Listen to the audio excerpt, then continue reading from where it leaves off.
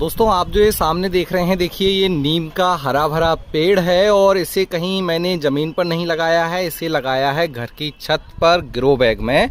और नीम के औषधि गुण तो आप जानते ही होंगे, कितनी सारी चीज़ों में हम इसके पत्ते, इसकी इस तरह से स्टेम का इस्तेमाल करते हैं। और अगर आप खुद की नीम का जो पत्तियाँ इस्तेमाल करते हों या नीम का जो भी चीज़ आप इस्तेमाल करते हो, आप खुद का पेड़ भी इस तरह से उगा सकते हैं अपने घर की छत पर।